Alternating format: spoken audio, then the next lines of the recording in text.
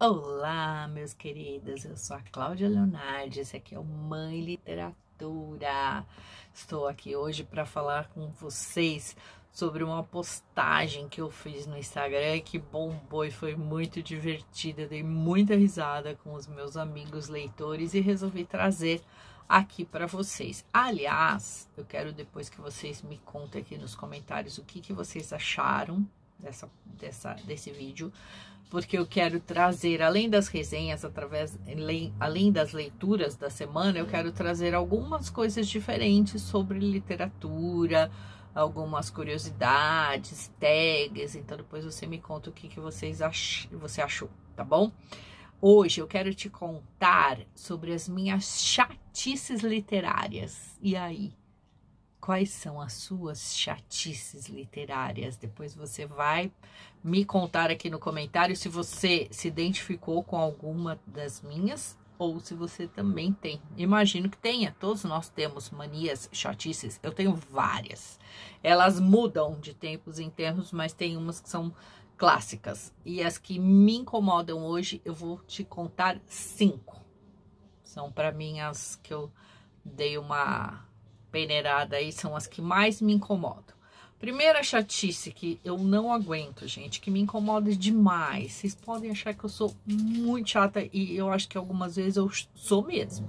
Mas assim, uma das coisas que mais me incomoda, eu sei que tem gente que ama citações integrais de música ou poemas no texto do livro. Desculpa, gente. Eu acho que assim, você citar um livro, um, um livro dentro do livro, você citar um poema, você citar um trecho, uma letra, uma, um título de uma música, até um trechinho, uma frase, agora me colocar a música inteira, o poema inteiro. Desculpa, mas para mim isso é encher linguiça. Tem gente que ama, que acha lindo. Eu não acho. Isso me faz revirar os olhos e falar que chatice. Essa é a primeira. Segunda, título muito diferente do original.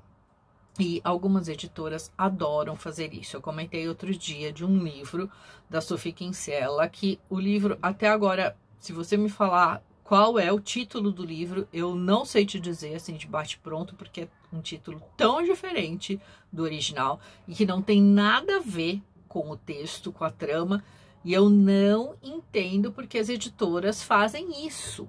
Porque assim, eles acabam. Eu imagino que se a autora escreveu aquele título é porque para ela tinha muito sentido. Por mais que culturalmente a nossa realidade seja diferente, eu acho que você colocar um título muito diferente, eu acho muito chato. Outra coisa que eu também acho muito chato, capa do filme. Ai, gente, desculpa. Tem gente que fala, tem editora que fala que vende muito mais quando é a capa do filme, mas eu vejo muitos leitores falando que preferem a capa original. Tanto que quando eu recebo com a capa do filme, com aquela jacket, eu tiro e fico com a capa original. Não gosto de capa de filme, chato.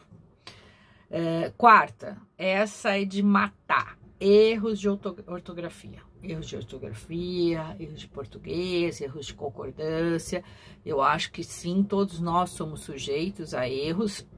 A gente revisa texto e passa batido. Agora, editoras grandes, editoras robustas que deixam muitos erros passarem, desculpa, eu acho isso uma chatice, uma falta de respeito com o leitor. Acho um trabalho muito desatento. E a quinta, que eu acho uma coisa assim absurda, são citações externas no original, extremas, externas. E um, dois, três. extensas. Citações extensas numa língua original sem tradução. Eu li um livro que eu gostei bastante, que eu já tinha gostado de um outro livro desse autor, que é o, o, James Baldwin. Eu li o quarto Giovanni e eu achei assim, apesar do livro ser muito bom, eu fiquei extremamente irritada. Achei uma falta de respeito. Falei isso na minha resenha, porque assim, tinham frases inteiras em francês. Eu não sou obrigada a ler em francês, porque eu não estou lendo no original. Então, assim, é da, de uma editora que eu amo, mas eu acho assim uma falta de respeito não colocar uma tradução. Nem que for uma põe nota de rodapé, mas assim, eu acho assim, eu não tenho obrigação de ir lá no Google copiar tudo, principalmente porque eu não estou lendo em e-book, porque no e-book ainda se aperta, né? E consegue às vezes ver a tradução. Então, acho uma falta de respeito. Então, essas são as cinco chatices que hoje me fazem revirar os olhos, bufar e que vão impactar nas minhas impressões literárias. Agora é sua vez, quero saber. Você concorda com as minhas chatices? Você tem as suas? Você se identificou com alguma dessas? Me conta aqui nos comentários que eu vou adorar saber. Se você gostou, deixa aqui o seu joinha, que isso me ajuda bastante. Se inscreva no canal. Eu já estou programando os projetos literários para 2022. Quero te contar, volto logo para te contar e pretendo continuar compartilhando aqui o meu amor pela literatura com vocês.